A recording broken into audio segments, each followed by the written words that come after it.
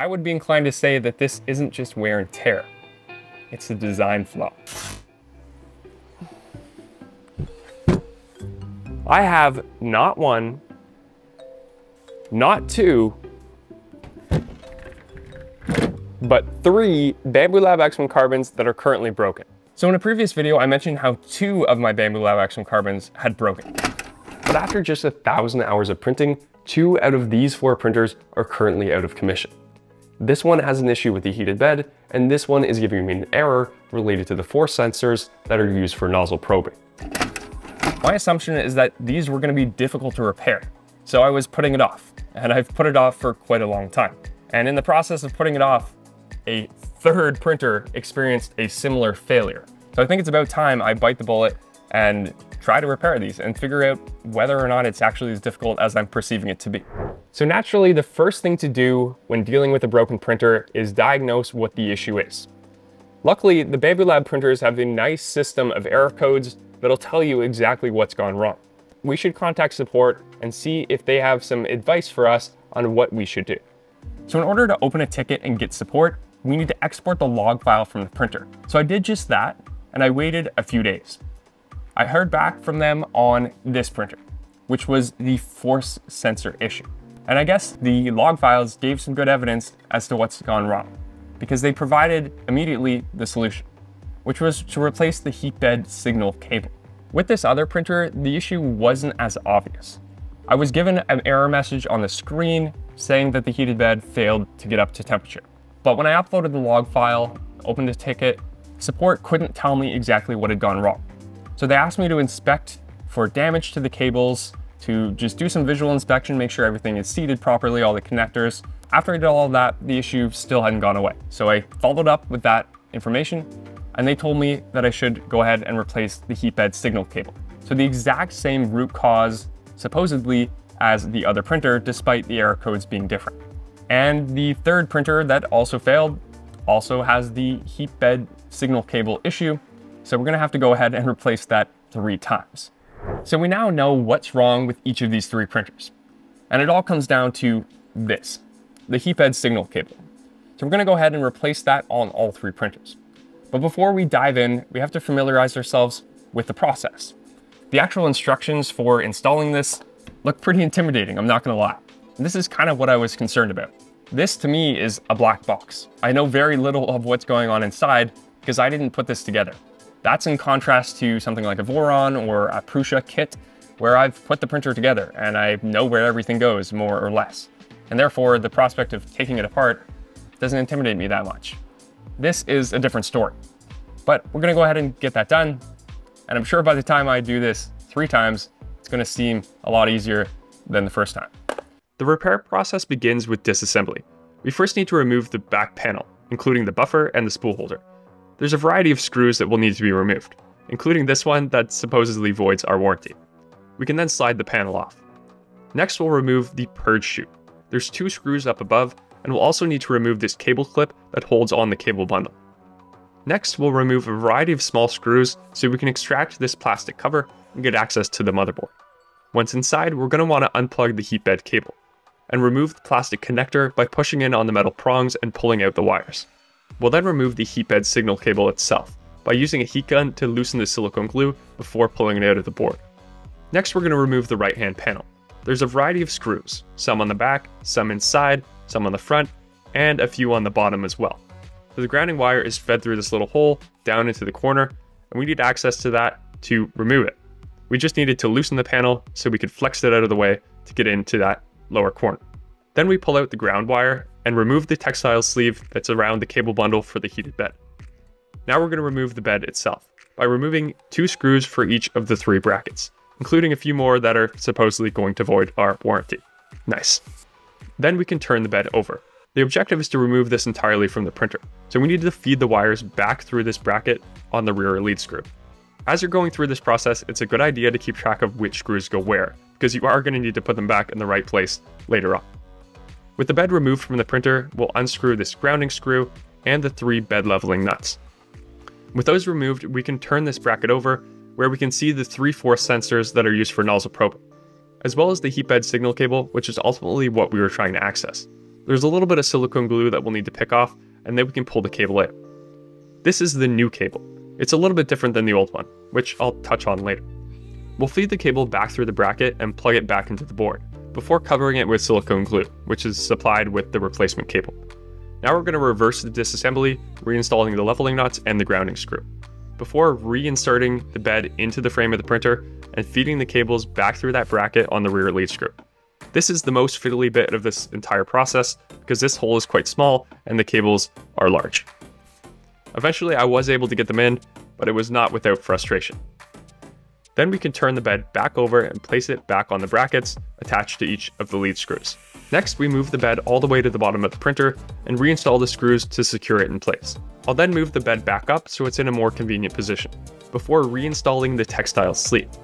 We'll need to retape it on both ends the original tape is no longer sticky, so I needed to use some electrical tape I had lying around. We'll then feed the grounding wire back through these cable management clips and into the rear corner before screwing it back into place.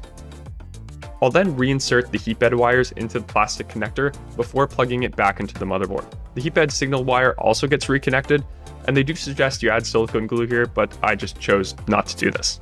I'll then reinstall the purge chute using the two screws and clip the cable bundle back on.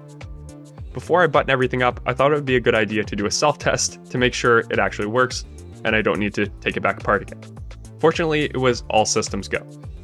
This is when you're going to thank yourself for keeping track of which screws go where. We'll put the panels back on, starting with the right one and then the rear one. Reinstall the filament buffer and the spool holder, and that's the repair complete. This video is brought to you by PCBWay, your partners in prototyping. That could be PCB fabrication, sheet metal forming, CNC milling, Whatever sort of project you can dream up, they can help you out. Simply upload your design files, select your parameters for material, quantity, etc., and they'll produce it and mail it to you so you can put it into your project, whatever that may be. So the next time you need support in your projects, make sure you check out PCBWay at the link in the description. All right, back to the video. Phew. All right, we're back in business with one out of three printers. When I was in there, I noticed something kind of concerning. The strain relief on this heat bed signal cable does not seem adequate. It's bent at a pretty tight radius, and you can see the wear on this cable. I took my multimeter to this old cable, and I was able to flex it and get it to disconnect or throw an open circuit. So I know for certain that this was the root cause. This cable broke after just a thousand hours of use. In the grand scheme of things, a thousand hours is really not that much. I would be inclined to say that this isn't just wear and tear, it's a design flaw. And I think Bambu knows that, because the new heatbed signal cable is quite different.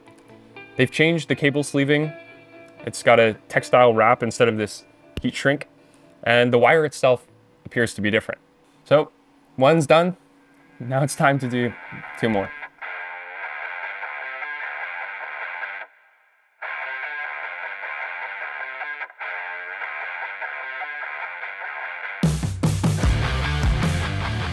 All right, so I just finished repairing the second machine. It took me a little over an hour this time, which was considerably less than the first time I did it. One time-saving trick was not to remove the entire right-hand panel, which just isn't really necessary. All we're trying to do is get to the grounding screw at the back. So I just removed as many screws as necessary so I could flex the panel out of the way and get in to unscrew that grounding screw. That saved me a little bit of time and just the familiarity with the process as well. I was more efficient overall. I have lead screw grease all over my hands. By the time it came to doing the third printer, I got lazy, like really lazy. I cut corners everywhere I could, which included not fully removing the bed assembly from the printer. In the end, I only saved about 10 minutes, so it really wasn't worth cutting these corners and risking damaging something in the process. Well, that'll do it. Three broken printers are now three fixed printers. I'm really glad to have these repaired. After so long procrastinating doing that, it wasn't as bad as I thought it was going to be. By the time I got around to doing the third one, I got it down to just under an hour, around 50 minutes. And the overall process wasn't particularly difficult, although there were some fiddly bits and some things that made it clear that these printers weren't designed for repairability. For instance, the hole where you feed all of the cables from the heated bed back to the motherboard is really small. So you need to take off connectors from the cables You need to fish out all of the wires before you can push in the new ones, and things like that that just add up to extra time and labor to get these repaired. If that cable hole had just been a little bit bigger, you could have done the one cable, which is the heat signal cable, and left all the other ones in place, saving quite a bit of time. And as well, the grounding cable location. If you want to get the ground cable off for the heated bed, you need to take the entire right-hand panel off. But it seems to me that they could have put that grounding cable in the center back frame, and in doing so, you could have just removed one panel and not two in order to repair that heated bit. Where I do have to give credit to Bambu is to their tech support for responding to my ticket in a timely manner and giving me actionable steps that I could take to repair this.